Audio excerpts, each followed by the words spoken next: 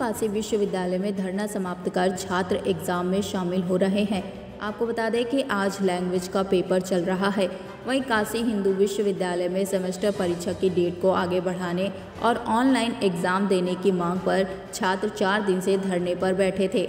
वहीं छात्रों के काफ़ी विरोध के बाद मंगलवार देर रात विश्वविद्यालय प्रशासन ने छूट देते हुए कहा कि 21 सितंबर की परीक्षा में जो छात्र शामिल नहीं होना चाहते, वो ना हो।